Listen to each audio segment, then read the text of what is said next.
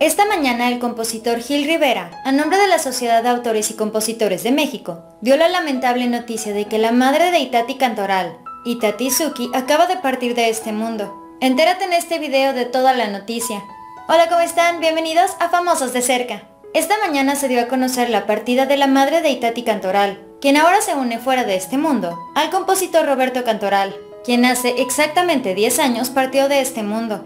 La familia Cantoral, por su parte, agradeció las muestras de apoyo en este momento tan difícil para ellos a través de un comunicado, el cual dice, con mucho dolor queremos informarles que el día de hoy, en la mañana, partió de este mundo nuestra querida madre Itati, Suki de Cantoral.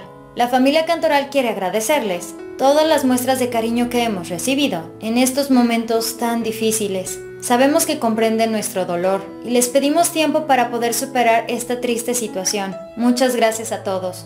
Fue su nieta Alejandra Itati, Cantoral Ramos, quien le confirmó a la revista Quién que su abuela había partido gracias a un paro cardiorrespiratorio. A la revista ella mencionó, te puedo confirmar la noticia de que efectivamente mi abuela acaba de partir por causa de un paro cardiorrespiratorio.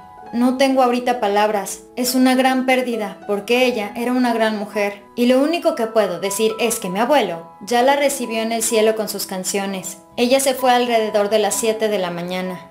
Otras dependencias del gobierno, como el Instituto Nacional de Bellas Artes y Literatura, han lamentado la sensible pérdida de la madre de Itati Cantoral. A través de su cuenta ellos mencionaron, enviamos nuestras sentidas condolencias a Itati, Roberto, Carlos y José Cantoral o la sensible pérdida de su madre, doña Itati Suki de Cantoral. Nuestro abrazo solidario a la familia.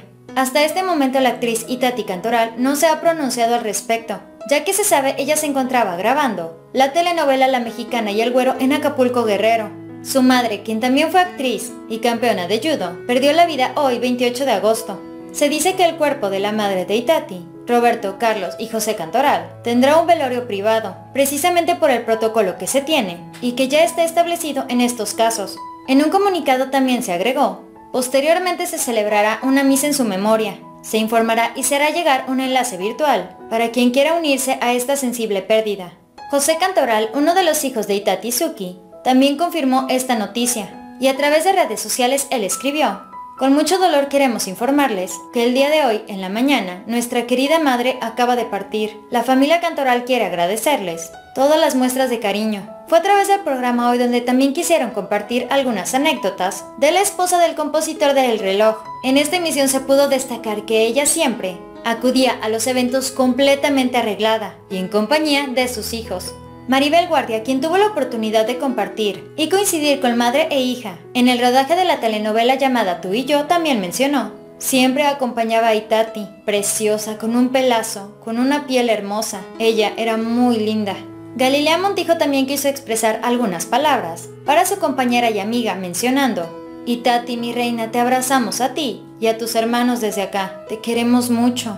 De acuerdo con información que proporcionó el programa Sale el Sol, las grabaciones de La Mexicana y El Güero fueron suspendidas después de haberse enterado de la triste noticia. Itati Suki y Roberto Cantoral vivieron un amor que traspasó la pérdida. El compositor perdió la vida en el 2010 y a pesar de los años Itati Suki mantenía vivo su recuerdo. Ella confesó a la agencia de noticias Notimex en 2016 lo siguiente. Soy una mujer de un solo hombre, porque cuando el amor es puro y la pareja buena de corazón, no se puede cambiar como unos zapatos se guarda siempre en el alma. Los padres de Itati Cantoral se enamoraron en tan solo una semana y después contrajeron nupcias a los nueve días en Santiago de Chile. Según había comentado el programa Sale el Sol, Itati Suki vivía ella sola, pero desde hace algunas semanas ella se había mudado con la intérprete de Soraya Montenegro. Todo México y Latinoamérica se une a esta familia por la triste pérdida de Itati Suki. Esto fue Famosos de Cerca. Dale like a este video Vamos a dejar aquí abajo en los comentarios un emoji color negro, para que así conmemoremos su memoria. No te vayas de este video sin antes suscribirte a nuestro canal de YouTube dando clic aquí abajo, al igual que seguirnos en nuestra página en Facebook. Espero que tengas un maravilloso fin de semana, cuídate mucho, nos vemos muy pronto, bye.